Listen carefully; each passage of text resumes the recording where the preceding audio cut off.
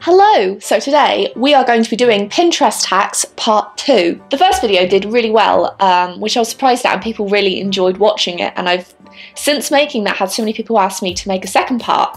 Um, so this past week on Twitter and Instagram I had a few video ideas that I suggested and asked which I should do for this week and most people suggested I do Pinterest hacks part 2. So I have 5 Pinterest hacks that I found on Pinterest that I really want to try out um, to see if they're any good or not. Okay, so this first one is homemade alcohol inks. And apparently for this hack you need at least 90% rubbing alcohol and I have 91% so that should be good. You need some markers, I've just got a cheap set of washable markers here and you need, they suggested like a little container but I couldn't find one so I just got some of these little plastic cups and they should be fine because I don't really plan on, on using them after this. So we'll just see how this goes. I've just realised I have nothing to take the bottom of this grate. Let's start with blue because that's my favourite colour. You're supposed to remove the little caps on the bottom um, and I did not bring anything with me to do that. Okay, so I've removed the bottom. Now I'm going to try, it should apparently just drop in. And it did. Okay, brilliant. That was easier than I thought it was going to be. So it doesn't really look like there's a specific like amount of rubbing alcohol that you stick in here, but we're gonna try to just stick some in. I suppose the more you put in, obviously, the weaker the pigmentation of the colour is going to be. Right, I'm just going to do that for now. Um, it says, oh, it took some experimenting, but I realised that sliced open cartridges work the quickest. Great. So now we're going to try red. And trouble is my hands are going to get messy.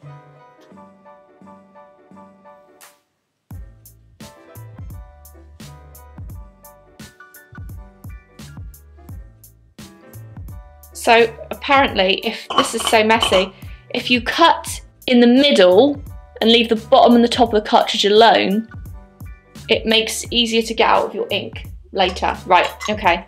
So, I'm currently getting bright red marker ink all over my hands.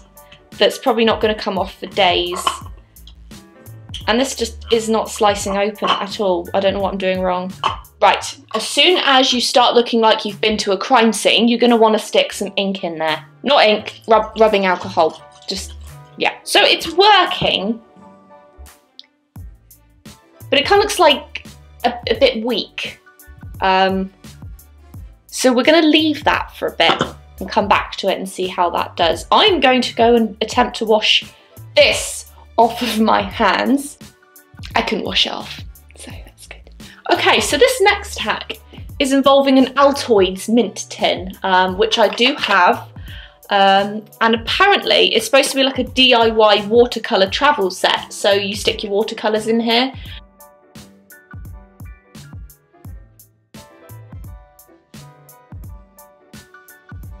I don't want to waste the mints because even though mints don't agree with me, I want to... A lot of people I've noticed are using watercolours in the tube in order to stick that in here, but I don't have that, so I'm just going to...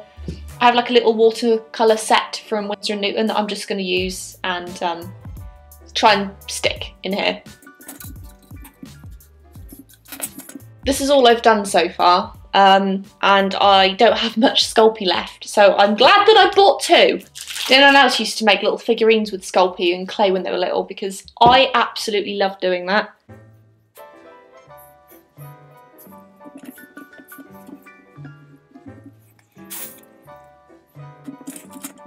Our little alcohol ink containers don't look too bad. They might they might work, I'm not sure, but I've stuck it all in and now I'm going to put the watercolour rectangles in it to kind of try and mould the shape. So I think this is not a bad idea. Um, if you spend a little bit more time than I am doing this, you could probably get away with making the like the holes a little bit bigger.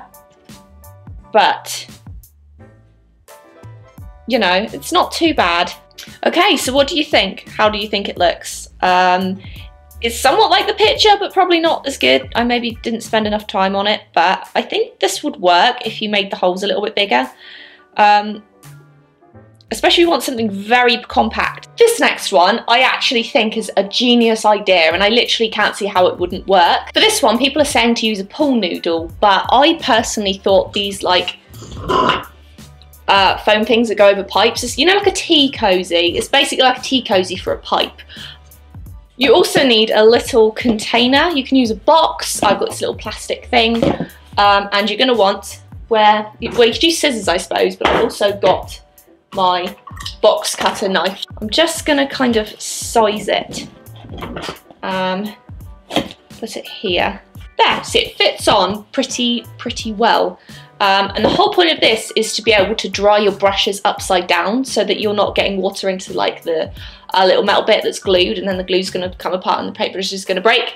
It also stops your paintbrushes from fraying if you dry them upside down so it's just it's just the best way to dry your paintbrushes in my experience. Okay so I'm just basically just stabbing the little pipe tea cozy with my scissors. And that should be pretty good for some paintbrushes. It's not the most beautiful brush holder in the entire world, but it's cheap and it will hopefully work. Okay, moment of truth to see if this works. Um, fingers crossed, I think it's gonna work. It's pretty, you know, easy. I've made the slits very small, so I'm thinking it's gonna be better with smaller paintbrushes. Genius. I mean, it looks a bit wonky and not that great, but look how good that looks. It looks like it's going to work really well and that's the main purpose. So you can pretty much, as I said, use a box, a little plastic container, anything that this will hold on to. And this pipe thing, where's it gone? Paintbrushes are expensive and you don't want to keep buying them all the time. So I recommend this, 10 out of 10.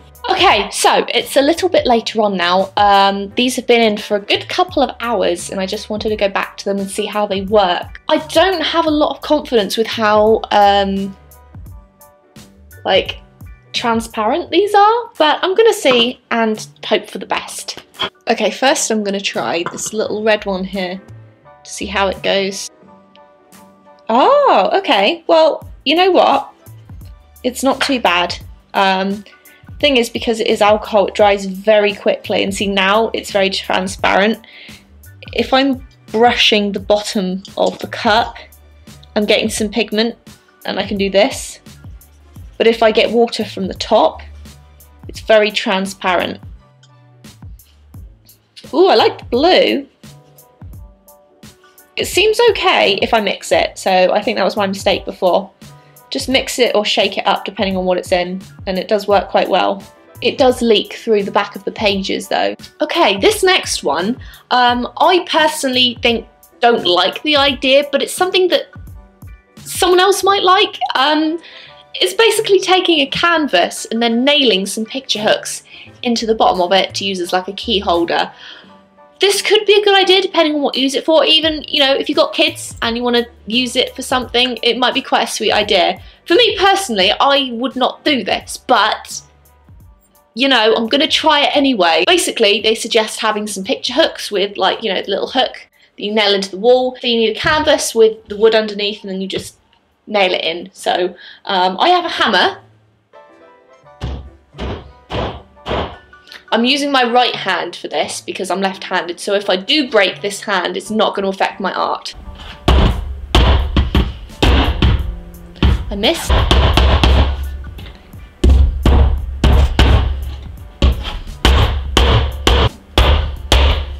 I'm also not, like, knocking it in straight. I can't there we go. So I don't, I don't actually have keys um, with me. They're upstairs and I'm too lazy to go and get them. So I'm gonna use this little key ring I've got.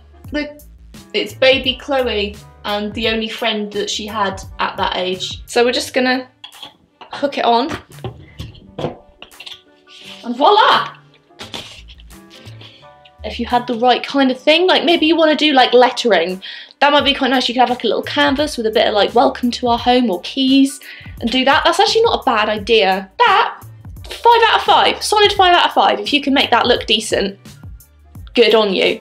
This one is a homemade light box, which you use a plastic drawer for and your phone. So what you want to do is turn the light onto, can you see that? The light is on my phone. So you want to stick your phone under the light box which will then apparently illuminate it to the point where you can start tracing your work. So I've got this drawing from last week, this little doodle here. Uh, I'm to sort of digitise it and turn it into like a colouring page and then put it on my Patreon.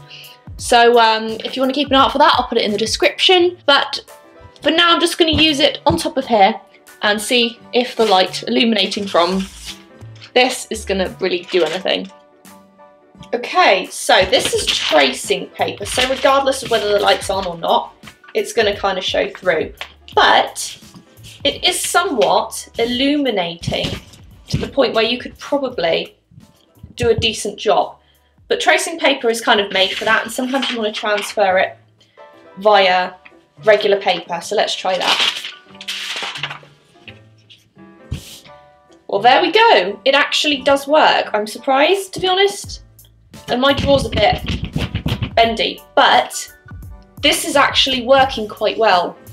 So, you know what? If you have one of these plastic drawers and a phone that lights up, 100% recommend doing this because light boxes can be quite expensive um, and they're really, really handy. So, yes, that's not too bad. I'm quite, I'm quite happy with that. So there we have it. Those are all five hacks and every single one actually worked pretty well, so I'm quite surprised at that. If you ever come across any Pinterest art hacks you want me to try out, definitely leave them in the comments below or on my Twitter, Instagram. You can contact me through any of those means. Do let me know in the comments, by the way, which which was your favourite hack. But thank you so much for watching. I hope you enjoyed the video. Um, I would love to hear your thoughts and comments.